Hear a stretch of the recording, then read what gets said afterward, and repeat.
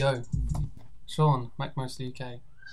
I'm just informing you all that OS 10.8.5 has been released now. It's the um, update in between 10.8 and 10.9, of course, um, for Mountain Lion. And it's going to bridge the gap between this and the next um, release of the operating system, Mavericks. So, what's so good about this update? Improve stability, compatibility, and security of your Mac. Fixes an issue that may prevent mail from displaying messages.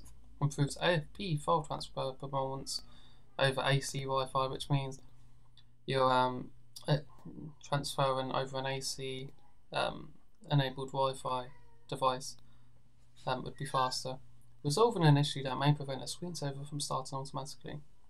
Improves Xsan reliability. And there are more detailed um, things that have gone on in this update. But that's the main points.